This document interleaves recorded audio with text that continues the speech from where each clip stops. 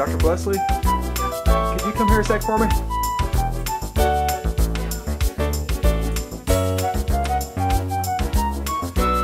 There he is.